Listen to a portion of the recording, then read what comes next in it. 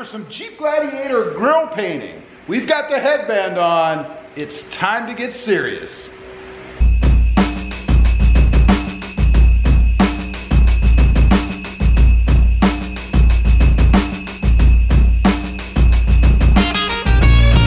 Good morning everybody and welcome back to Rob Motive JT. And today I am gonna do some painting for the grille on my Jeep Gladiator. What I've got here, this is a grille actually that I had gotten for my Gobi Gladiator right here, where I had the, the surrounds on here painted Gobi to match. They come black because I wanted to kind of frame in the grille.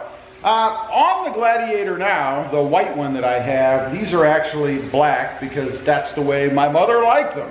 So what I'm gonna do, I'm gonna pull these off, I'm gonna sand them, and I'm gonna paint them brilliant white to go with the Jeep Gladiator that I have right now to frame in the grille. Now, this is a little more serious painting than I've typically done. Never done any kind of body work really, painting before, so it's gonna be a new experience for me. But first of all, let me show you how to get these off so that we can actually paint them. I'm not gonna paint them attached to this whole grille.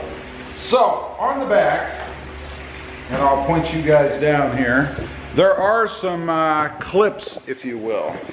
You can see them all the way around the grille as well as little uh, pressure connectors, I guess. But these little white clips that you see around here, these white clips need to come off. They're what hold this on as well as the little pressure clips that are on these pieces themselves. So I'm going to see if I can't pull these off by hand. I'm not sure if my office fingers are strong enough, but we're going to find out. So let's give it a try.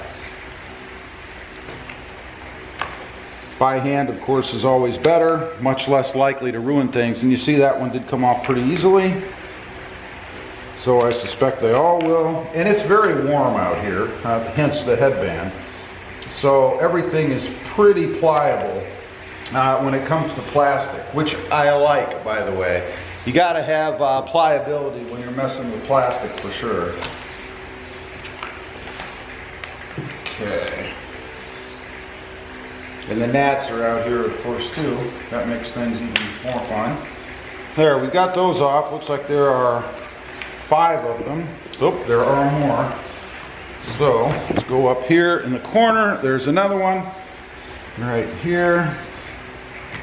Pull that one out. I imagine way down here, there's another one in the corner. We'll get that one off as well, up here. That one might actually be broken, and that's okay because I actually bought some extras of these. So I'm going to replace the broken one with a new one. Now, let's make sure uh, we don't have to take any of the ones off in the center because we're not taking anything apart there. We're only looking at the surround part here. So that's everything. So I'll flip it over. Well, actually, we'll do it from the back. See if we can't get these off by pushing in the clips on the parts themselves. That should be pretty easy, I think. And there are two push pins here that you need to remove.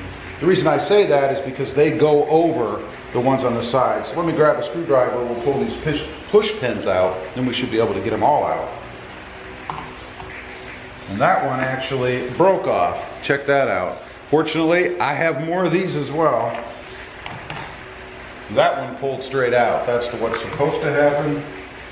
Now, should be able to just remove the other end,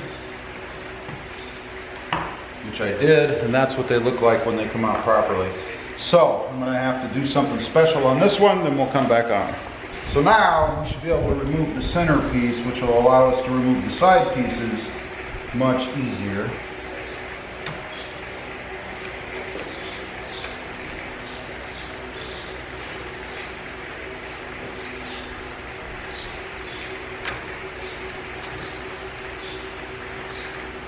Okay, here is the center piece, one of the pieces we're going to paint.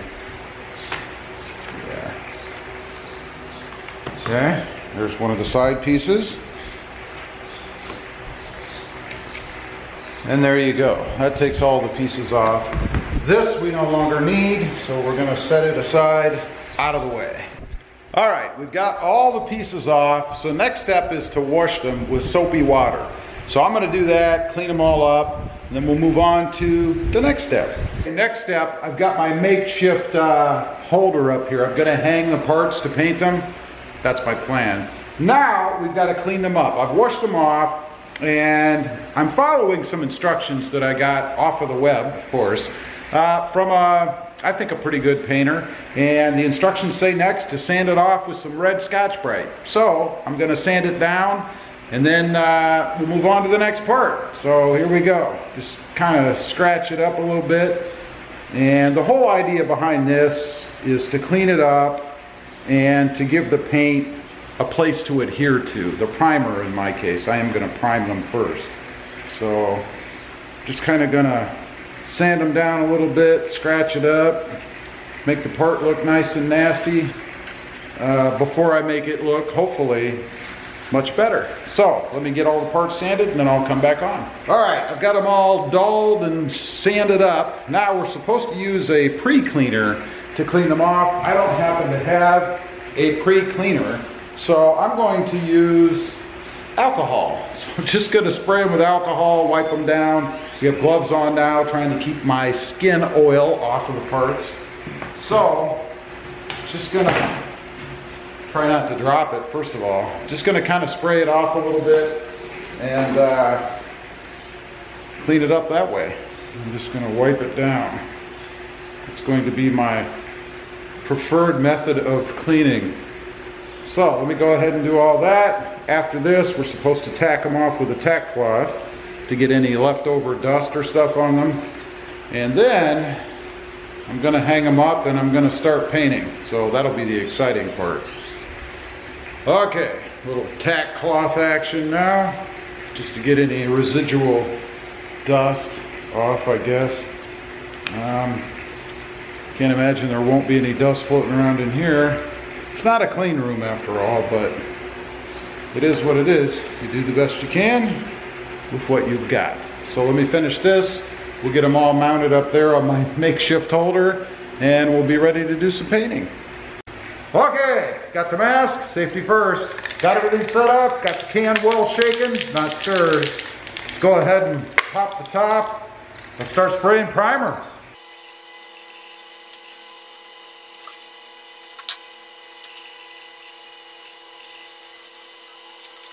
Coat number one, two more to go. Okay, we got all the primer and stuff on. I waited an hour for it to dry. Now it's time to paint. I'm gonna put five coats on, uh, probably somewhere about seven minutes or so apart, and then we'll let it dry for, I think it's an hour. And then three coats of uh, clear. So here we go. Wish me luck. This is the critical part right here.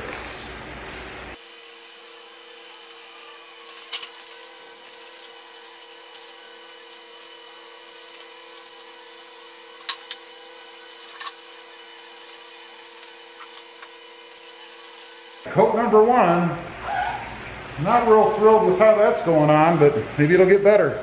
10 minutes, put some more on. I've got four coats. I decided to go with four. My directions actually said three, but I went with four. This is what it looks like so far, and it came out really well. The paint looks to be smooth. I don't see any runs or glopping or anything crazy like that. Um, but it doesn't look as brilliant white as the Jeep does out there, but that's what it's supposed to be. So maybe that will be the clear coat. Let's get you around to the back here. I guess it's probably just the lighting in here maybe. Uh, you can get an idea what it looks like there and there.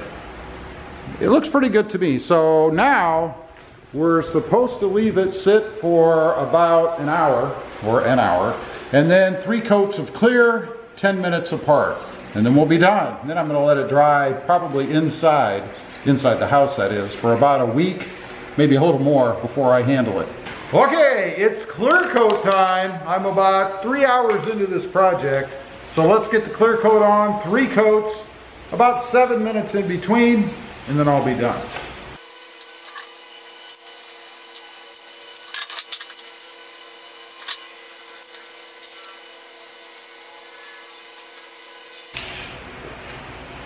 That's it. I am done. Everything is painted and clear coated. You guys can see right here. Hopefully it matches the truck. Um, it is brilliant white, so it should be the same. We shall see. Anyway, what I did was four coats of primer, four coats of paint, and four coats of clear. Probably about a three, three and a half hour job with all the waiting and drying and all that stuff. So they came out pretty well, I think. I don't see any imperfections yet. So we're gonna let them dry. I'm gonna take them in the house. I'm gonna let them dry, as I mentioned, for probably about a week, maybe a little more, just to make sure that they get a good hard dry to them. And then I'll show you what they look like and how to put them on the other grille. It's really just a reverse of what I did earlier, but stay tuned for the finished look. Also, real quick, I do have two additional channels, Rob Motive FST, all about my 2021 Tundra and my hunt for the new redesigned Tundra. And Rob Motive, all about my 2020 Toyota Tacoma. Check them out, and if you're interested, please consider subscribing. Don't forget to click that notification bell so that you don't miss out on any upcoming videos. And do me a favor, smash that subscribe button on the way out. Thanks for watching. Stay safe out there. Bye.